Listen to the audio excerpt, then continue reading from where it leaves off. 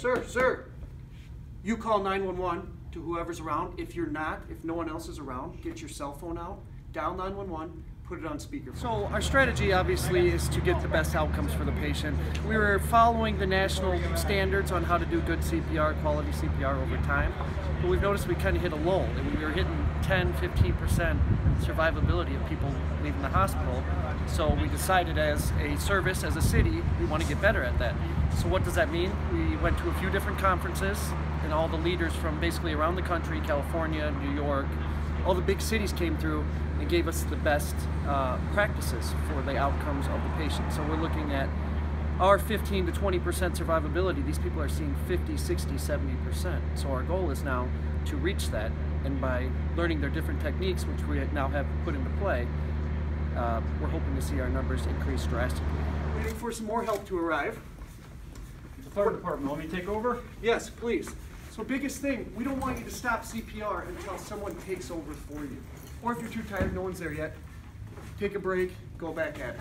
That's the best thing for this patient. With the new system, we have people that uh, are paramedic engines that arrive on scene first. They're starting CPR, they're doing better quality CPR. They have uh, new devices that tell them either to push harder on the chest, how fast their CPR is doing, and we're not taking pauses as we're doing CPR. So we're doing continuous CPR as we arrive on scene, no stopping. We don't stop for more than four to five seconds of doing CPR, and that's just basically to switch personnel. Uh, we're getting airway devices in faster, so we have that hands freed up. Someone puts the airway device in, they're taking care of the airway, someone's taking care of compressions, and then we're cycling out. Police are a big help in this. They get on scene. They sometimes get their AED on before, and they're starting continuous CPR right then until we get there. Again, the biggest thing we want to push home too is early CPR saves all lives, or most of the lives that go into cardiac arrest. So if you or someone you know doesn't know CPR, the biggest thing is learning early CPR. That's going to give us the best outcomes. Whenever you're ready.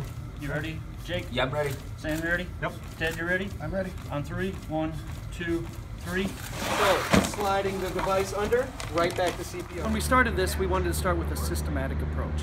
So we have a new, what's called a wheel of survival, basically gives us key steps on what we need to do for best patient outcome. So, early CPR, early airway, good quality CPR.